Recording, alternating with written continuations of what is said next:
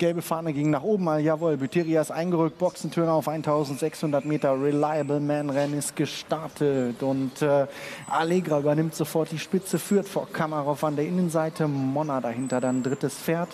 Dann sehen wir die Gruppe dort ähm, mit äh, innen galoppierend Orbit King, mit Wise Wyoming, La Corrigan, Buteria und Stepstar zunächst einmal auf Warten geritten dort am Ende des Feldes. So geht es die äh, Gegenseite hinunter. Monna hat mittlerweile die Spitze, führt vor Kamarov, vor zwischen den Pferden, äh, dann äh, galoppierend Allegra, dann Buteria, dahinter dann äh, Orbit King, der lässt sich schon mal ein wenig anfassen, vor Wise Wyoming, La Corrigan und äh, Stepstar. Ausgangs der Gegenseite geht es weiter. Ähm, Monna zeigt den Weg, führt. Monna führt vor Kamarov, vor Buteria, Allegra, dahinter La Corrigan.